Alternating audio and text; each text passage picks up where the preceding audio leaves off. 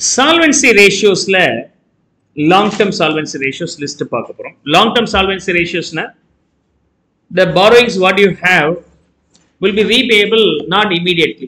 Matter of 3 or 4 years later even it may go up to 20 years or sometimes it may be only on dissolution or liquidation. அது வரைக்கும் நீங்கள் payment பண்ண மாட்டீங்க. அந்த மாதிரியான dead அந்த மாதிரியான டெட் அடைக்கிறதுக்கு உங்கள்ட்ட பணம் இருக்கா? அப்படிங்கிறது பார்க்கறது தான் நம்ம லாங் டேர்ம் சால்வன்சி ரேஷியோஸில் வருது. Long term solvency or long term liquidity right இந்த லாங் டேர்ம் சால்வன்சி ரேஷியோக்கு we can call that being the leverages ratios, leverage ratios. We have a s- chapter called leverages where we are going to deal the leverages alone in detail. இங்க வந்து லிவரேஜஸ் ratio அப்படின்னா என்னன்னு மட்டும் சொல்லிடுறேன். நம்ம கம்பெனிக்கு தேவையான கேபிட்டல்ல கடன் வாங்கி வச்சிருந்தால் அந்த கம்பெனிக்கு பேர் லிவர்டு கம்பெனி அந்த கம்பெனிக்கு பேர் லிவர்டு கம்பெனி டெட் ஃப்ரீ கம்பெனியா இருந்தால் அது அன்லிவர்ட் கம்பெனி ஓகே அப்ப எவ்வளவு போர்ஷன் டெட் இருக்கு அப்படின்னு பார்க்கறது தான் இந்த leverage okay is that portion of debt component out of the total capital is acceptable range or not அப்படிங்கிறது படிக்கிறது தான் leverage ratio we have a separate chapter for the leverage go refer that one later இங்கே வந்து name மட்டும் சொல்றேன். Dead இருந்தால் லிவர்ட் form dead இல்லைன்னா அன்லிவர்ட் form அல்லது இன்னொரு நேம் என்னன்னா கேபிட்டல் ஸ்ட்ரக்சர் ரேஷியோஸ் சொல்லலாம். கேபிட்டல் எம்ப்ளாய்மெண்ட் இருக்குல்லையே? இந்த பிசினஸுக்கு ஒரு சே இந்த இல்லஸ்ட்ரேஷனில் பொறுத்த வரைக்கும் கேபிட்டல் எம்ப்ளாய்டு வந்து கிட்டத்தட்ட twenty eight thousand eight forty வருதுன்னு நினைக்கிறேன். டுவெண்ட்டி எயிட் எயிட் ஃபார்ட்டி இந்த இல்லஸ்ட்ரேஷனில் பொறுத்த வரைக்கும் equity share holders funds along with what debt இதெல்லாத்தையும் ஆட் பண்ணிக்கணும். இதையும் இதை ஆட் பண்ணிட்டீங்கன்னா twenty eight thousand share holders ஃபண்ட்ஸையும் and long term டெட்டையும் சேர்த்துட்டீங்கன்னா capital employed the capital employed here being twenty eight thousand eight forty இந்த பிசினஸுக்கு வேணுங்கக்கூடிய கேபிட்டல் எம்ப்ளாய்டு அந்த twenty eight eight forty how are you able to manage for raising then purely equity ஷேர்ஸா அல்லது equity shares கொஞ்சம் preference shares கொஞ்சம் அல்லது டிபெஞ்சரும் சேர்ந்தா? So அந்த காம்போசிஷனை பற்றி படிக்கிறதுனால இது பேர் கேபிட்டல் ஸ்ட்ரக்சர் ரேஷியோ அப்படின்னு நம்ம சொல்லலாம். இந்த ரேஷியோவில் ரொம்ப ரொம்ப எனக்கு ஃபேவரட் ரேஷியோ அப்படிங்கிறது என்னன்னா capital gearing ratio will now finish off that first of all fifth ஒன்னை நம்ம முதல் முடிச்சிடலாம். Capital gearing ratio okay gearing கியர்னு என்ன அர்த்தம்? கியரை ஃபாஸ்ட் பண்ணுங்க. பெர்ஃபார்மன்ஸை ஃபாஸ்ட் பண்ணுங்க அப்படிங்கிறது கியரிங் ரைட் அது மாதிரி ஒரு பிஸ்னஸுடைய ப்ராஃபிட்டை நீங்க ஃபாஸ்ட் பண்ணுங்க அப்படின்னு சொன்னாக்கா அதிகப்படுத்துங்க இன்க்ரீஸ் பண்ணுங்க அப்படின்னு சொன்னாக்க வேகமாக வேலை செய்யறது ஒன்று இன்னொன்று டெட்டு காம்போசிஷனை கேபிட்டல் ஸ்ட்ரக்சர் காம்போசிஷனை மாத்துறது ஒன்று இந்த கேபிட்டல் காம்போசிஷன் மாத்துறது மூலமா ஈக்குவிட்டி ஷேர் ஹோல்டர்ஸ் கிடைக்கிற லாபத்தை அதிகப்படுத்த முடியும்.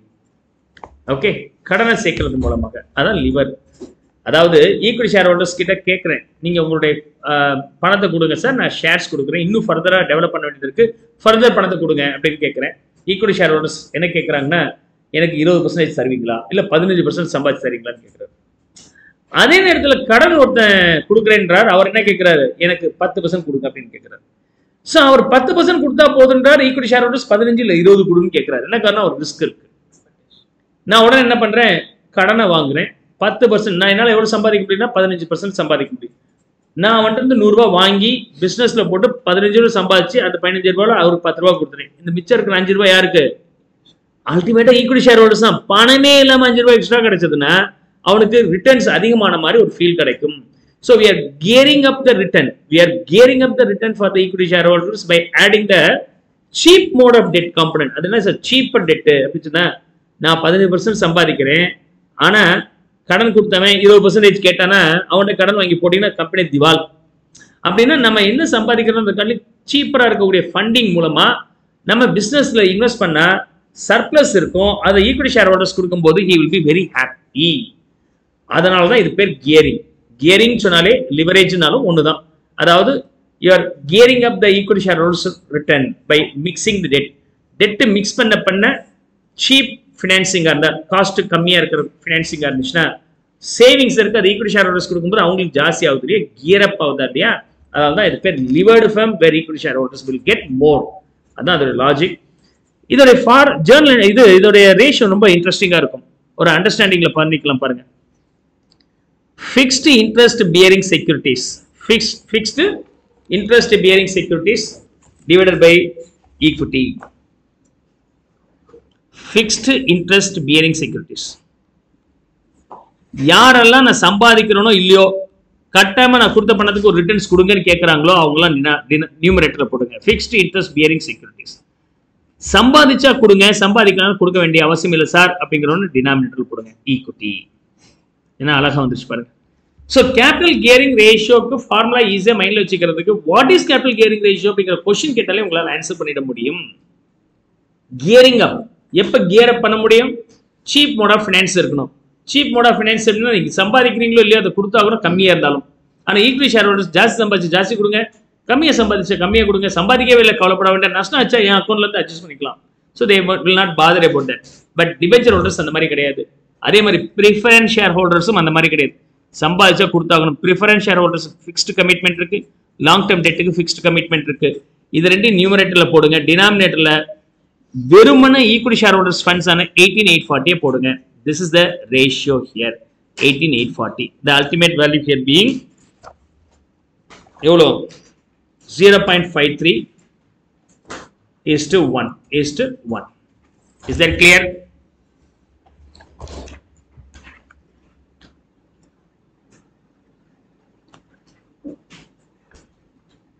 now debt to equity ரேஷியோக்கு வரலாம். மூணாவது. டெட் டு ஈக்விட்டி ரேஷியோ ரெண்டையும் கனெக்ட் பண்றதுக்கு டூன்னு ஒன்று இருக்கு. அப்படி டூன்னு இருந்தால் டெட் ஷுட் பி நியூமரேட்டர் டினாமினேட்டர்ல ஈக்விட்டி இருக்கணும். எகைன் இதுல நமக்கு டிஸ்பியூட் இருக்கு. டெட் டு ஈக்விட்டில டிஸ்பியூட் இருக்கு. டெட்டுனா என்ன சார் ம்? டெட்டுனா என்ன? வாட் இஸ் கால் டெட் இதுல எஃப்எம்ல பல இடத்துல டிஃப்ரெண்ட் டிஃப்ரெண்டா ஆர்குமெண்ட் பண்ணி இருக்கிறாங்க அதாவது சில சமயம் நீங்க படிச்சுட்டு போய் புக்கை பார்ப்பீங்க கன்ஃபியூஸ் ஆயிடும். You have to be very careful in that debt could be debt could be long term debt only or long term and short term total debt or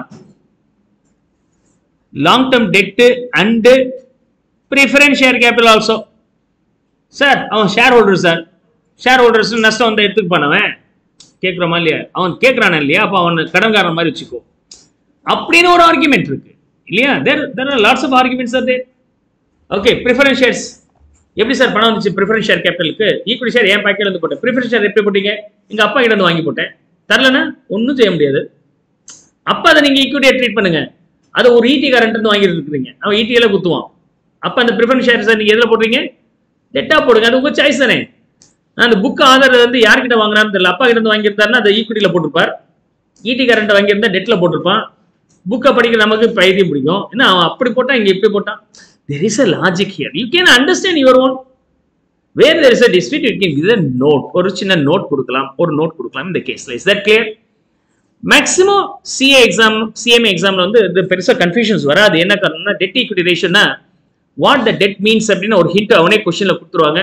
so அப்போ டேரக்டா எடுத்து அதை ஃபீட் பண்ற மாதிரி இருக்கும். ஆனா நீங்க புக்ல படிக்கும் போது கன்ஃபியூஸ் ஆயிருக்கும். இதுவா அதுவான்ட்டு. இதுல எந்த ஒரு ஹார்மும் கிடையாது. You can take only the long term debt or total debt or the preferential capital is also consider as a part of டெட்டாக எடுத்துக்கலாம். நான் இந்த புக்ல எதை ஃபாலோ பண்ணியிருக்கிறேன் அப்படின்னு சொன்னாக்க டோட்டல் டெட்டை ஃபாலோ பண்ணியிருக்கிறேன். Total debt by equity equity share holders funds sorry share holders funds எடுத்துக்கிறேன். Share holders equity share holders இல்லை share holders funds share ஹோல்டரை one of the equity share holders மாதிரியே ட்ரீட் பண்ணியிருக்கிறேன்.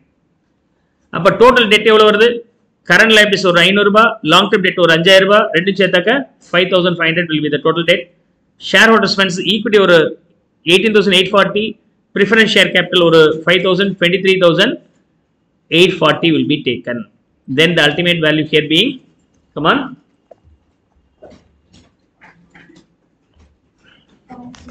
point two ஒன்னா okay okay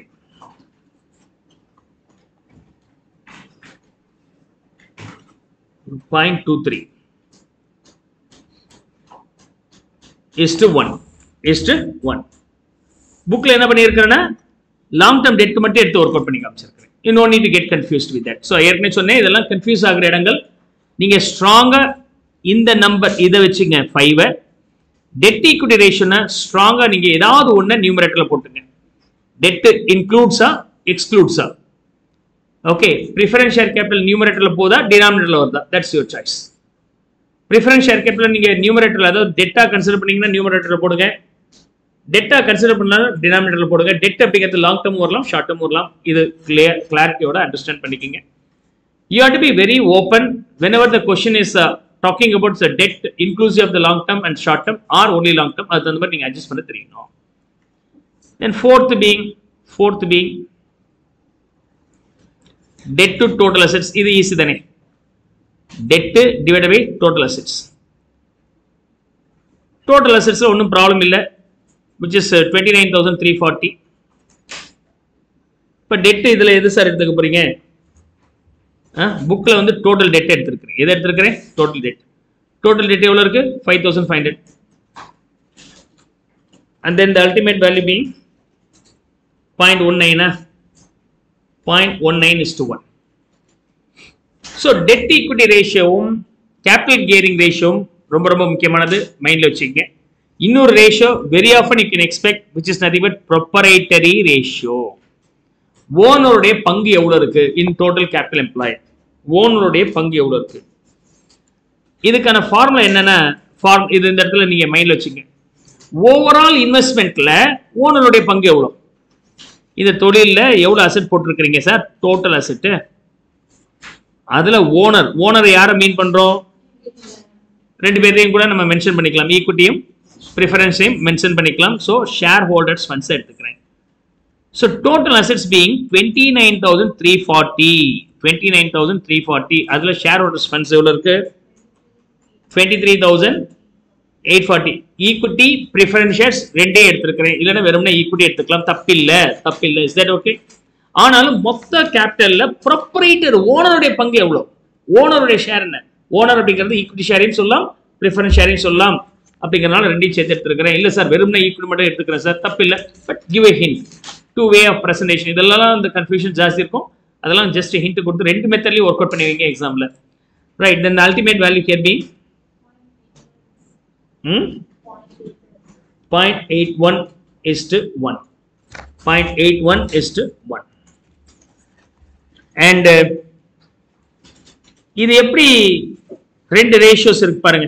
ஒன்னு equity ratio இன்னொன்னு debt ratio ரொம்ப simple out அந்த total capital எம்ப்ளாய்டில் ஈக்விட்டியோட ஷேர் எவ்வளோ? டெட்டோட ஷேர் எவ்வளோ அப்படிங்கிறது டெட் ஈக்விட்டி ரேஷியோ இது நம்ம இனிமேல் ஃபுல்லாக லிவரேஜ் சாப்டரில் படிப்போம். கேபிட்டல் ஸ்ட்ரக்சர் சாப்டரில் படிப்போம். அப்போ நீங்கள் தெரிஞ்சுப்பீங்க.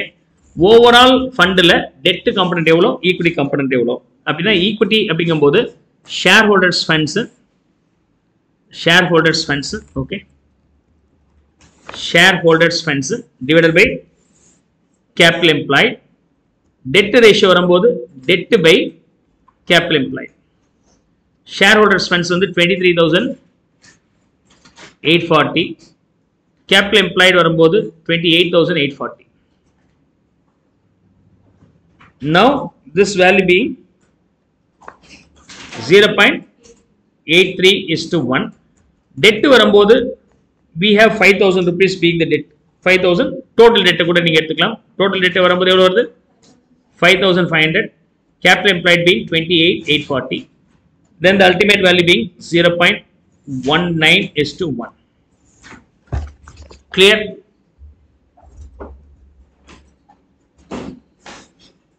இந்த லாஸ்ட் பேஜ்ல பார்த்ததுல எதெல்லாம் நீங்க கேர் எடுத்து படிக்கணும்னா கேபிட்டல் கியரிங் ரேஷியோ ஒன்று ப்ரொப்பரேட்டரி ரேஷியோ ரெண்டு டெட் டு ஈக்விட்டி ரேஷியோ மூணு. இந்த மூணு ரேஷியோ மட்டும் தெரிஞ்சுக்கிட்டா போதுமானது. You just understand these three ratios other ratios will be apply applied in subsequent lecture so ஈஸியாக நீங்கள் அண்டர்ஸ்டாண்ட் பண்ணிக்கலாம். இந்த மூணோடைய லாஜிக் தெரிஞ்சுக்கிட்டீங்கன்னா போதுமானது.